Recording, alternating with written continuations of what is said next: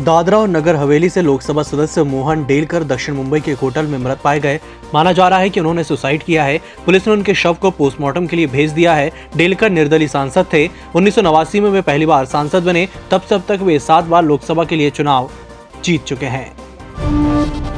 प्रधानमंत्री नरेंद्र मोदी सोमवार को महीने में तीसरी बार पश्चिम बंगाल पहुँचे। हुगली में उन्होंने कहा कि अब पश्चिम बंगाल परिवर्तन का मन बना चुका है। टीएमसी पर तंज कसते उन्होंने कहा कि माँ माटी मानुष की बात करने वाले बंगाल के विकास के आगे दीवार बनकर खड़े हो गए हैं। इधर बंगाल की मुख्यमंत्री ममता बनर्जी कार्यक्रम से दूर ही रही।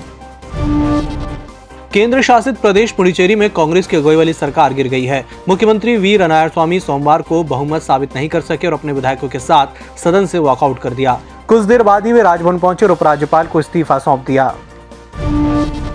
कांग्रेस नेता राहुल गांधी सोमवार को दो दिन के दौरे पर अपने संसदीय क्षेत्र वायनाड पहुँचे। उन्होंने यहाँ ट्रैक्टर रैली समेत कुछ कार्यक्रमों में हिस्सा लिया। प्रधानमंत्री पर तंज कसते हुए पूर्व कांग्रेस अध्यक्ष ने कहा कि नरेंद्र मोदी जब प्रधानमंत्री बने तो उन्होंने Mahatma Gandhi national rural employment guarantee act का मज़ाक उड़ाया इसे भारतीयों का अपमान बताया। लेकिन कोविड के दौर में इसी मनरेगा का इस्तेमाल गरीबों की आय बढ़ाने में किया, गरीबों के खाते में पैसे ट्रांसफ़र किए। बीमा रेगुलेटर भारतीय बीमा विकास प्राधिकरण के एक आदेश से हेल्थ बीमा पॉलिसी लेने वाले ग्राहकों की चांदी हो गई है।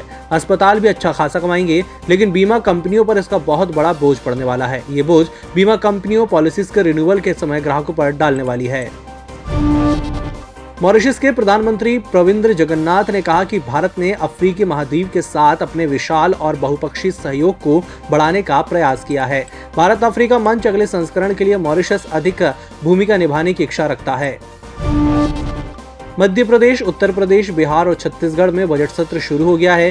देश के सबसे बड़े राज्य यूपी में वित्त मंत्री सुरेश खन्ना ने साढ़े पाँच लाख करोड़ का बजट पेश किया। उधर बिहार में बजट सत्र की कार्रवाई शुरू होते हंगामा हो गया। नेता प्रतिपक्ष तेजस्वी यादव ने विधानसभा में पेपर लीक का मामला उठाया। वहीं इस दौरान यूपी के बजट में अयोध्या के लिए तीन सौ करोड़ का प्रावधान किया गया है।